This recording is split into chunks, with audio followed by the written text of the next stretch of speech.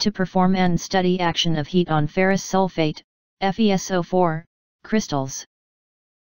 Observe decomposition reaction of heat on ferrous sulfate, FeSO4, crystals. Take a test tube.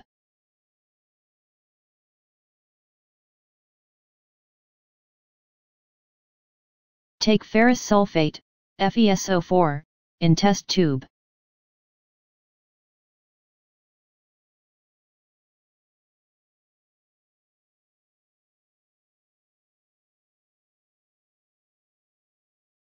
Heat the test tube on burner.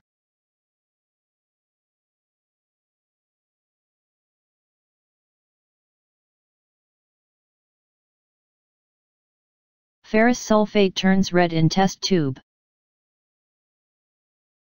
Click on Next step.